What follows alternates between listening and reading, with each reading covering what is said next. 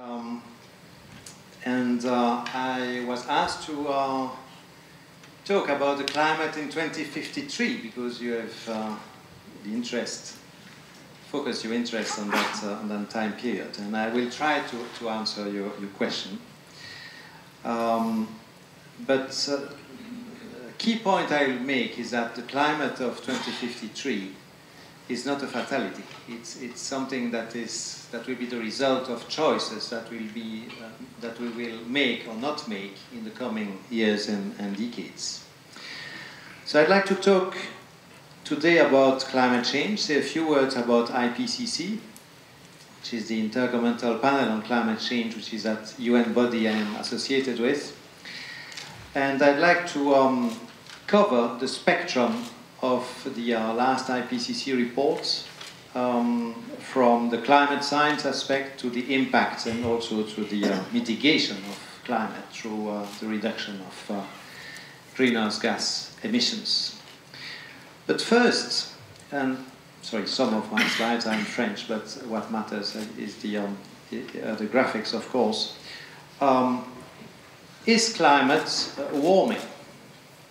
Well, climate is uh, the average over a 30 year period, so we should not um, conclude about the global climate uh, as some would like to do sometimes on the basis of uh, last week's uh, last week's temperature in Belgium or in the UK. Of course, uh, that's um, almost irrelevant to um, the, the, the climate question. I mean, the same last week Probably very few people know in Belgium that it was 47 degrees C in India. And hundreds of people were fighting with electricity producers who had cut electricity to air conditioners to uh, try to have some energy back so that they could uh, feed their, their, air conditioners, at least those who, who, who, could afford them. So climate is really a global question and also needs to be uh, seen with some um, time perspective. And what you see here is over the last um, 40 years or so, the uh, annual temperature. Uh, and of course, it fluctuates from, from one year to the next. But if you compute the averages, 10 year by 10 year, which is what is done with those uh, purple horizontal line, you see that each 10 year period is actually 0.15 degrees C warmer than the preceding one, which is almost exactly what, what, the, what the IPCC projected 30 years ago, almost 30 years ago, 20 years ago, let's see, um, in its um, climate projection, saying that uh, climate would warm over the coming few decades by between 0.1 and 0.2 degrees C per decade. Well, 0.15 is right in the middle. So climate is warming not only over the past 40 years, but uh, if you look at the, the last 150 years, you see that the temperature has overall been increasing. That's the top diagram. Of course, with fluctuations, climate, again, must be seen with some perspective. But you have plenty of other indicators that climate is really being uh, affected and changing, affected by something, some factor, and we'll see later which one is, has become the most important. You see in the middle diagram that uh, sea level uh, is increasing as well, um, approximately 15 centimeters over the last 100 years. And another example, another indicator, is the snow cover uh, in the northern hemisphere has decreased over the last 40 years by several million square kilometers. Glaciers are receding. Look at this glacier in Peru in 1978, and from the same point, the way it looked 25 years later. This is the behavior of more than 80% of the uh, glaciers in the world today. And this is also a result of warming. Look at the Arctic ice cap, the uh, sea ice, the thin layer of, fro of uh, frozen seawater that covers part of the Arctic how it looked at the beginning of the satellite observations in uh, 79. Uh, the last um, minimum records uh, observed in September 2007. And this record, uh, minimum record, has been broken last September when uh, on 16, the 16th of September, uh, the area was about one, approximately 1 million square kilometer lower than the preceding record, which I just shown you, the 2007 one. And of course, this is changing not only uh, climate, but also the navigability of the, the region, which is, uh, will have probably some uh, interesting political consequences over the coming decades. Precipitation has also been um, uh, affected. You see uh, here statistics from a few example points in the, in the, in the world. All those points have seen increases in precipitation over the last hundred years. All these regions have seen decreases in precipitation. So let's turn a little bit on, on, on, on the physics of the climate system, which is changing, and we would like to know why. If we didn't have the so-called greenhouse gases, this is how the energy would uh, flow uh, in simplified terms, with solar energy in yellow and infrared heat emitted by the surface shown in red. And if we only had those, uh, the, the balance between the in, incoming radiation and the outgoing radiation would lead to a temperature, a surface temperature, that would be uh, much colder than what we have today, minus 18, and probably life on Earth uh, would not have evolved the same way. So we should be very thankful that there are greenhouse gases, the main one, the main natural one being uh, water vapor, of course, but uh, a very important greenhouse gas uh, is CO2. It's a natural greenhouse gas and it's also more and more a human greenhouse gas. And those greenhouse gases have the property, as you see here, to trap a, a, large proportion of the infrared radiation and to re-emit it mostly towards the surface. And the balance, the new energy balance with those greenhouse gases is plus 15, which is the average temperature of the, uh, of the planet. Um, so it's very good to have uh, the greenhouse effect. The problem is if we have too much, um, if we have too much of something good, it can become uh, poison, as you, as you know. And the problem is that we are burning fossil fuels uh, to um, a large, uh, very large scale. Uh, each um, gigajoule, it's a unit of energy produced through coal, produces about two times um, more kilograms of CO2 than natural gas uh, to give you an idea of the difference between the different um, fossil fuels. But the result of all that, all that combustion is that the CO2 concentration, the percentage in the atmosphere, has been slowly increasing. Uh, and you have heard probably uh, a few over the last few weeks that we have uh, at least briefly uh, been crossing the 400 ppm threshold, which is uh, of course symbolic but uh, which is a value which has never been seen uh, for um, more than probably two or maybe three million years in the history of the Earth. We have now data uh, for the last 800,000 um, years for the CO2 concentration. I only, only show half of that here. And you see that over that period, the values have uh, oscillated between 180 approximately and 280 ppm. ppm is part per million. Uh, remember, we are close to 400 now, and never uh, it went. It never went above 300, let's say, um, during that pre-industrial period uh, when only natural factors were acting, and this is the evolution over the last hundred years. Now, why is that uh, changing? Well, because we have perturbed a balance which, was, which had been very delicately maintained, at least as it was before the pre-industrial period, before 1870, 1850 approximately, uh, for the last 10,000 years. For the last 10,000 years, we had approximately these numbers.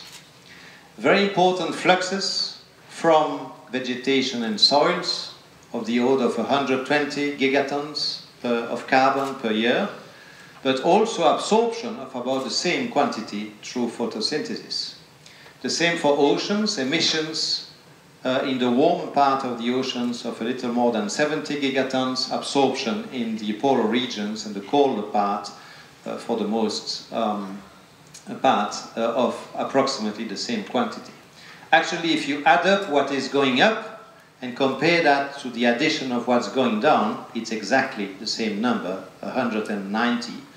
And even if the fluxes were very important, uh, as they were balanced, the quantity of carbon in the atmosphere, 600 billion tons of carbon, remained stable for the last 10,000 years. What we have done uh, by burning fossil fuel is to um, perturb uh, that balance, that equilibrium.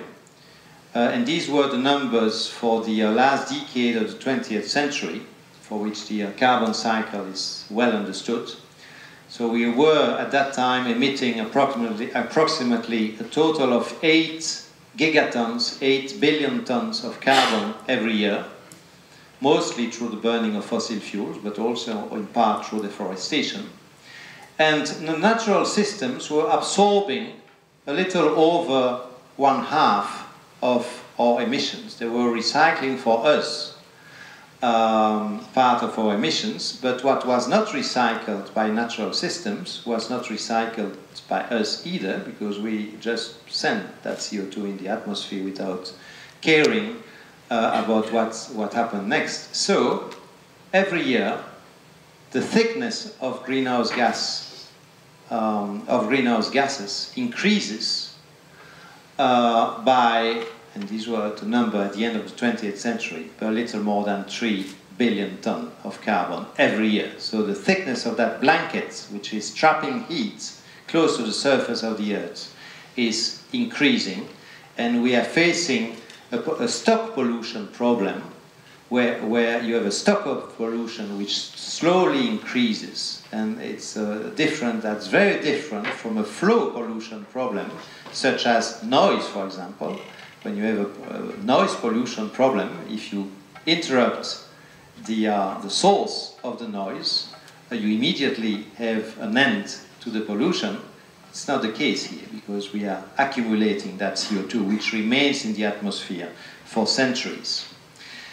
Now, I've spent, now that I've spent a little time to explain those numbers, you can understand that uh, someone who would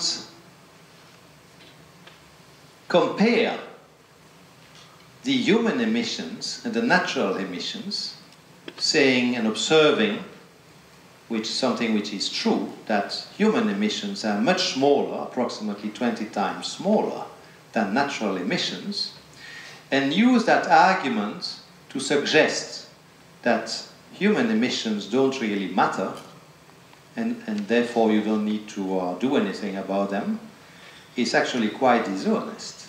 Because there's a big difference, because those big natural emissions and the human emissions is that the natural emissions are balanced and ours aren't. So that's just an example of uh, a typical argument that you now have the tools to uh, dismount yourself that is used by some climate skeptics because as you know there are merchants of doubt uh, and this is the title of, uh, of a book uh, written by uh, two historians of science, Naomi Oreskes and Erik Conway from the University of San Diego, if you're interested, um, to uh, look at the, uh, the details on, on how this is uh, organized. And you sometimes hear about them in Europe as well. So how does the IPCC work? Well, the IPCC was created exactly to have uh, the best uh, science advice um, at the disposal of policymakers so that they not that they they can know what the the, the right answer is to those uh, uh, bogus arguments coming from climate skeptics and some um, uh, special interests from time to time. So it was established by the World Meteorological Organization and the United Nations Environment Programme just 25 years ago to provide policymakers with the best um, uh, and the most objective source of information about the entire dimensions of uh, uh, climate change issues. And the next report is in preparation. The first volume on climate science will be published in September this year. The second volume on impact in March next year, and the third volume on mitigation in April next year, with the synthesis report coming in October 2014. Uh, and that will feed into the preparation of the next um, international treaty on climate change, which, if everything goes well, should be adopted in Paris in, uh, at the end of 2015. You can find a lot of uh, the IPCC information and uh, all the reports uh, published by the IPCC on that uh, website. Um, a key characteristic of IPCC reports uh, is that they have to be policy relevant but not policy prescriptive. Of course, we don't want to uh, replace policymakers. We just want to serve them with the best uh, information, provide them with options. There are three working groups, and we will look at information coming from these three working groups one by one uh, in the coming um, minutes.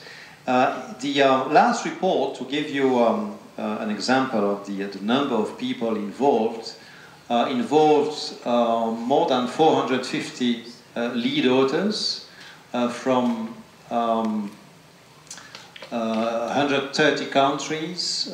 there were 800 um, secondary authors, 2,500 scientific reviewers, 90,000 comments coming from experts and governments in the process through three complete cycles of review and rewriting. So at the end, you have information that is quite solid and that is hard to, um, uh, to disprove. Working Group 1 on climate science, um, well, I will illustrate some aspects of its report. Um, um a lot of the um, projections and the analyses are now based on climate models. I know you've been talking about computers in the previous session. Of course, climate modelers are big users of uh, computer models uh, of the climate system, which decompose uh, each um, part of the atmosphere, oceans, cryosphere, the, the ice um, component of the system, etc uh, and try to reproduce its behavior on the basis of um, natural laws. And this allows you to make experiments you cannot do in the reality on the climate system. For example, you can try to uh, see over the last 150 years, uh, as shown here, the separate effects of different factors influencing climate. The red curve is coming from the effect of greenhouse gases, not only CO2, but also the other greenhouse gases, such as methane, for example. Uh, the yellow curve is the effect of solar radiation, the small fluctuation in the energy coming from the sun.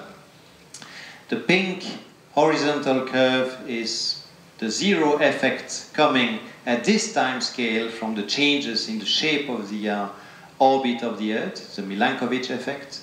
The green curve shows the effect of volcanic eruptions, which blocks some of the sunlight when they take place and have a cooling effect, as you can see. And the blue curve shows the effect of uh, the uh, pollution by the classic pollution by sulfur, uh, which has a cooling effect because it also blocks a little bit like the volcano, um, the volcanic emissions, some of the uh, solar um, energy. When you combine all of those, you have the red curve, which reproduces, not too, it's not too bad, the observed temperature, which is the black curve. So this is the kind of uh, um, simulations that, which is done to try to see which factors are the most important. This is not a way to present the same, same kind of idea. In these simulations, the um, natural factors, solar um, activity and volcanic eruptions uh, have been regrouped, and the result of those simulations uh, are shown in blue. The temperature, the observed temperature is the black curve, and the top um, simulations in red uh, are obtained with all factors, human and natural, and as you can see, over the last 50 years or so, there is basically no way to reproduce properly the observed temperature only with natural factors. It doesn't mean natural factors don't play a role anymore, of course they do, but human factors have become dominant. And this is why the IPCC has concluded in its last report that not only warming was unequivocal, but also that most of the warming of the past 50 years was very likely, which means a probability above 90%, due to increases in greenhouse gases of human origin. Now, having tried to reproduce the uh, climate of the past, we can look at the uh, climate of the future. Now, we cannot predict the climate of the future because to do that, we would have to be able to predict on which emission curve we will be over the next 100 years. Will we be on this relatively low scenario or will we be on this relatively high scenario? And the results at the end of the century uh, are not the same. Now, sorry, you have, you have another source of uncertainty here for each scenario, and you have the six results here corresponding to the six scenarios here, which is coming from the scientific uncertainty and that are still present in the modeling itself. I mean, the climate models are not perfect, and for a given scenario, we still have some uncertainty, which is shown by those ranges here. So at the end of the century, uh, if we were on this scenario, we would, we would be uh, between 1.1 and 2.9. And if we were on this high emission scenario for CO2, we would be between this value, which is uh, 2.4 and 6.4. So the uh, two extremes are 1.1 with the lowest scenario, the, less, the least sensitive model, and 6.4 above the temperature of the 20th century um, with the highest scenario and the most sensitive model. Now, the question, what is the climate is 2053? Well, I'm sorry, I gave a lecture few weeks ago, uh, not very far from here, on the other side of the linguistic border, and they were interested in 2063. I mean, it's only 10 years later, so I thought, well, maybe I can show you this. it's not going to be that different.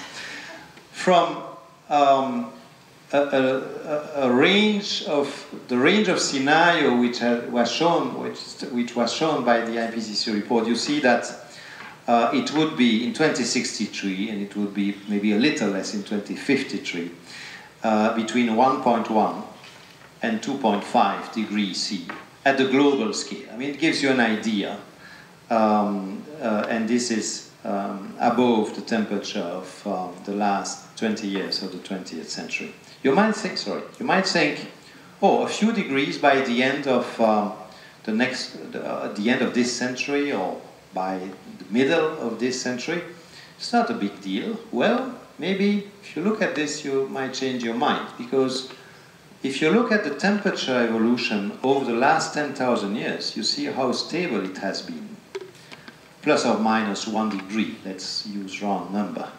10,000 years, that's the uh, period during which civilizations have developed. And 20,000 years ago, the Earth looked like this, with three kilometers of ice above North America and on Northern Europe, three kilometers of ice. I'm talking about the thickness, okay?